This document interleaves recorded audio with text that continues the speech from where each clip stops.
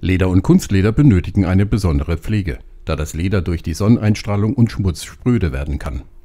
Für jede Lederart, Verschmutzungsgrad oder auch Lederzustand muss entschieden werden, welche Reinigungsmethode angewendet wird. Wir verwenden in diesem Fall das Sonax Premium Lederpflegeset.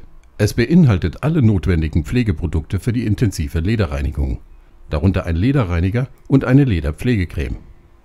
Dieses Set kann sehr gut bei oberflächlich gefärbtem Leder angewendet werden. Der Lederreinigungsschaum wird mit einer weichen Bürste aufgetragen. Der Schaum wird sanft in das Leder eingebürstet. Sehr schnell erkennt man, wie der Schmutz aus dem Leder gelöst wird. Bei hartnäckigen Verschmutzungen sollten Sie nicht zu stark reiben. In der Regel bewirkt dies nichts. Es besteht lediglich die Gefahr, dass die obere Schicht des Leders beschädigt wird oder die Farbe aus dem Leder gelöst wird. Mit dem Lederreiniger von Sonax können Sie bei Glattleder keinen Fehler machen. Der Reiniger eignet sich allerdings nicht für Velour- oder Alcantara-Leder.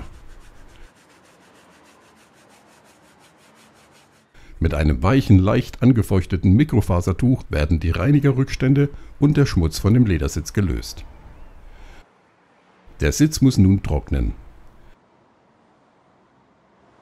Nach dem Trocknen wird mit einem weichen Applikator die Lederpflegecreme auf das Leder aufgetragen. Man sieht umgehend ein wunderbares Ergebnis. Das Leder wirkt beim Berühren weicher und glänzt wieder.